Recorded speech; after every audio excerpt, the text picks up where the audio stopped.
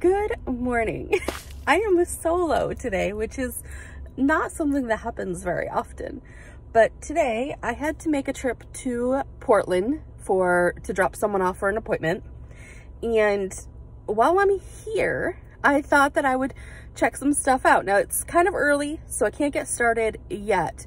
I'm gonna be kind of hanging out in parking lots, but I thought maybe I would go to the Westbrook Goodwill and I would also, if I have time, go to the Goodwill bins in Gorham. Uh, I haven't been there since before the pandemic, so that'll be exciting. I haven't been there, and I, it's kind of weird going by myself. I'm so used to John going with me. So I thought maybe I would check that out and see if I can find anything while I'm here waiting to pick up said person from appointment. So, um, let, let's see if I can find anything. Okay, I am at Goodwill by the pound. Uh, the doors are right there.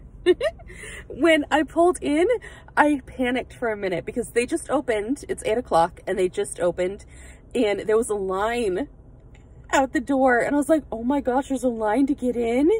And I was like, I'm not going to wait in a line in the cold. It's only 16 degrees Fahrenheit. Uh, but they hadn't opened the door yet. So now everyone is inside and now I can go inside and I don't have to stand out in the cold. So really, this is the perfect time to get here. so I'm going to go in and see if I can find anything. There was a pretty good amount of people, but the parking lot is not nearly as full as it usually is when John and I come during the day. So that that's a plus. so I apologize. I meant to show you the bins uh, when I was in there. Uh, but I, whenever I get in there, I just like head right to the bins and I don't even think about taking the camera out. So I apologize. But I filled up this big tote thing full of stuff. And when I get home, I will do a haul and show you what I got. But I got some good stuff and I only spent $5 at the bins. So I'm very proud of myself.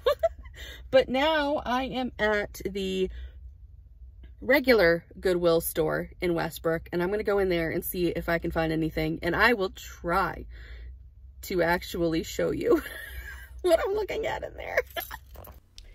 so I am the only one in this store and so I got super uh, self-conscious about talking to the camera but here's a look at what I was seeing. Uh, there are a whole bunch of picture frames and some dishes.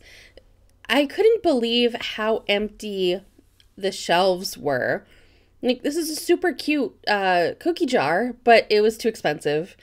And there's also a cool looking pitcher over here. I liked this yellow pitcher, but it was super dirty inside.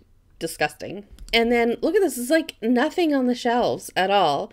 So, needless to say, I didn't find anything here in the home goods area. I just went to the clothing.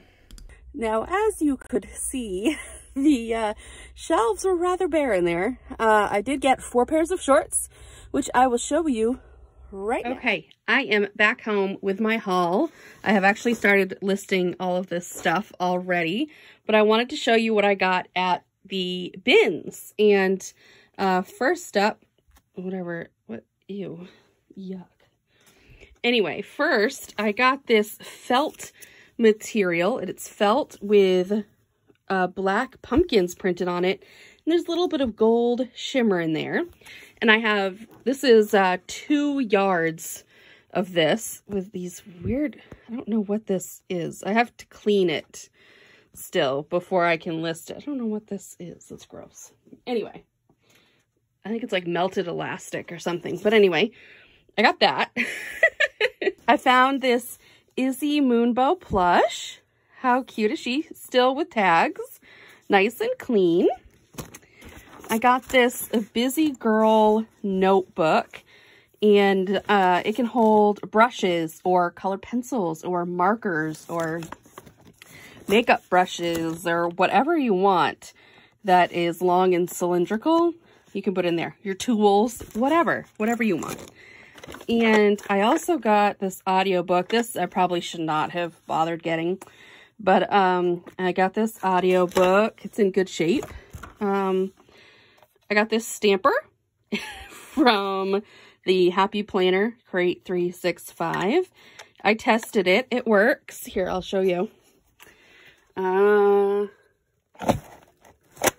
ta-da! It works. So there was that. I also got from Create 365 Happy Planner stuff these deco pens and it has these three styles in there. It's like a kind of like whiteout tape if you remember that far back.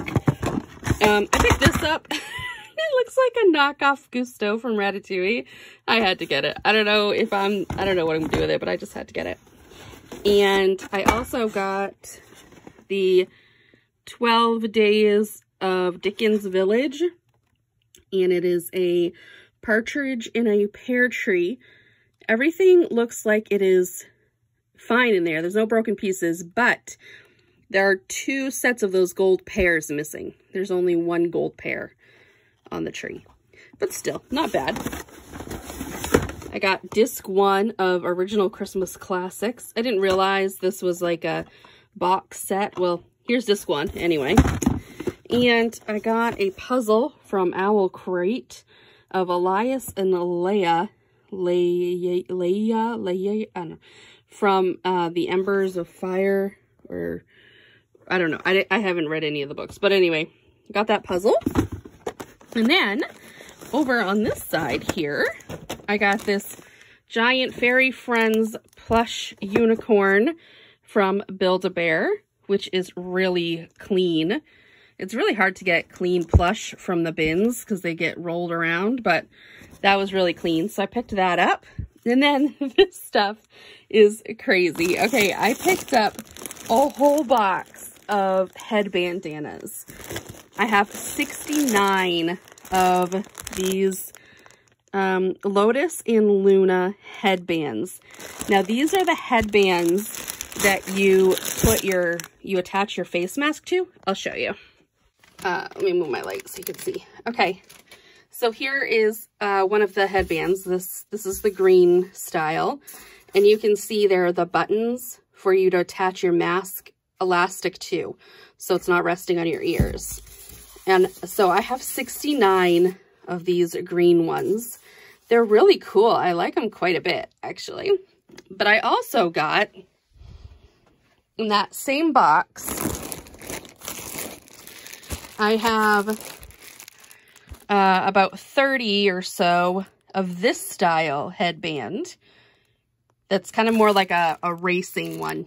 You know, one for like if you're running or walking outside or wherever. I have orange, blue, and this turquoise color.